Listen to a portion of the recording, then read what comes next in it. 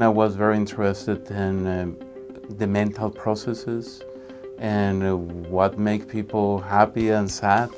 Especially, I was very interested in children and how they develop, how they think, how they feel.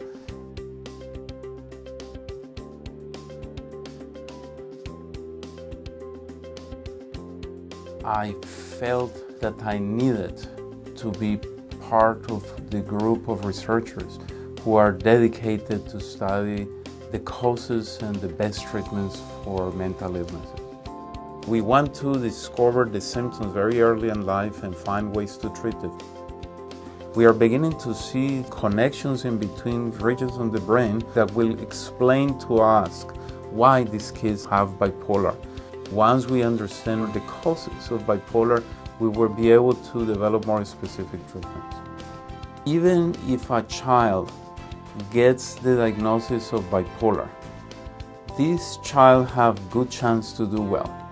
I think this is one of the most hopeful results that we can tell now parents. Receiving the Colvin Prize is a recognition, not only me, it's also my team. I'm grateful for the BBRF because they keep recognizing work of many researchers in the field of mental illness. We are hoping to discover why people get a specific mental illnesses and to pinpoint better treatments. In the future, I see more hope